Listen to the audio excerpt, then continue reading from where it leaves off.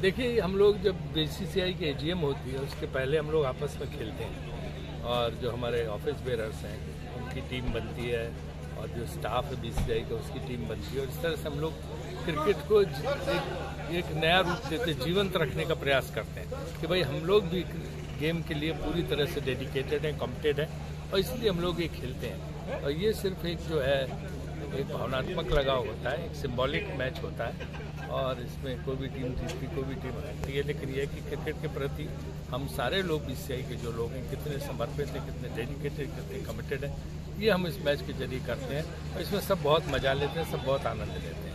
Sir कल normally before it's a convention that whenever a GM of BCCI takes place, prior to that we organized this match in which the office bearers of BCCI, the members of the BCCI, as well as the staff of the BCCI, they participate. And uh, they play this game.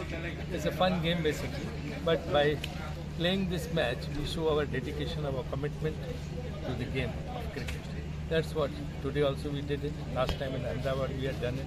Now today we have done in Goa and the ground was beautiful, everything was beautiful. Goa Cricket looked after us well.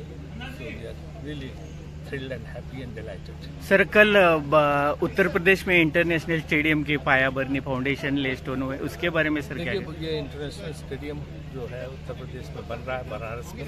इसके पहले हमारे पास कानपुर में green park है उत्तर प्रदेश में।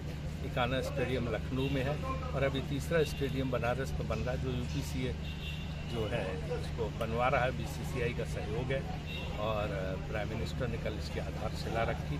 बहुत अच्छा कार्यक्रम है। जितने हमारे स्टार क्रिकेटर हैं। वो तो सारे लोग जो है पहुँचे हुए थे वहाँ पे और बहुत अच्छा कार्यक्रम हुआ। सर गोवा में बहुत दिन से चर्चा में है कि एक इंटरनेशनल स्टेडियम हाँ, चाहिए। गोवा में इंटरनेशनल स्टेडियम की ज़रूरत है। हम निश्चित रूप से गोवा क्रिकेट फेडरेशन के साथ सहयोग करेंगे बात करेंगे और उसकी जितनी पॉसिबिलिटी है संभावनाएँ तलाशेंगे। Thank you sir thank you sir